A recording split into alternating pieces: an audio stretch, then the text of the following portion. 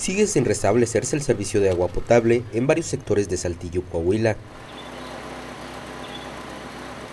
Y es que en esta región, el Frente Frío número 26 provocó temperaturas congelantes que reventaron tuberías y medidores en cientos de hogares. No, sí, desde que el frío y todo eso, sí.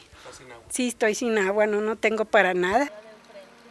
Los días pasan y los afectados no tienen otra que ingeniárselas para recolectar el agua y compartirla con los demás. Pero toda esta que se está tirando, pues la tratamos de darles a los que no tienen, como la señora. De acuerdo con la empresa local de aguas, hasta el momento han sido reparadas 15.000 tomas domiciliarias, pero las afectaciones ascienden a más de 40.000. El total de reportes que tenemos hasta este momento son 43.000. Ha ido, ha ido aumentando.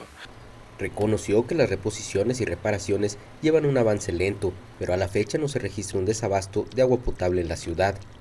Y actualmente el servicio pues, está normalizado, realmente está normal.